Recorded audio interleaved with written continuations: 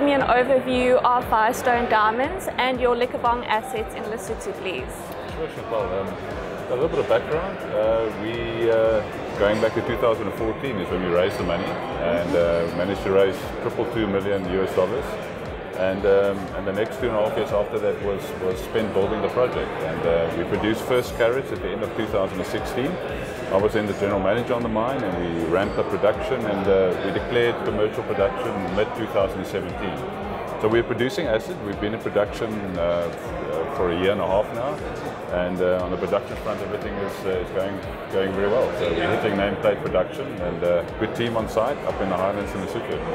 Okay, so now tell me a bit more about what work you've got planned for 2019 in particular at site. 2019 is all about um, embedding that um, production culture that we have in place at the moment and making sure we hit our targets. Um, we, uh, the important thing is for the production team to make sure we make our tons, so we get the grade out of the ground. The thing that's unfortunately not in our control is the, the value we get for our diamonds.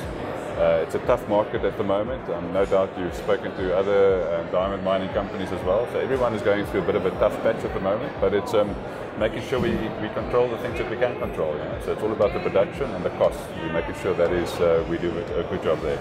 Okay, and can you give us some insight into what it's like running a diamond operation in Lesotho?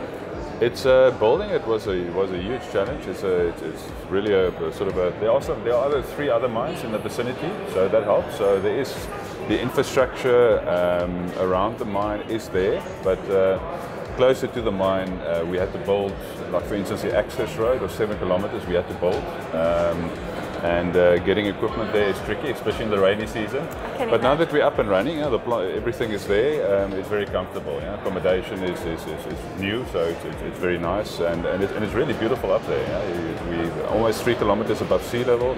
Uh, get some snow in the winter. Um, they call it the little Switzerland of Africa. So it, it, it's, it's, it's, it's, a very pretty environment where we are. Well, Paul, we look forward to following the Liqhobong story. Thank you for chatting to me today. Pleasure. Thank you.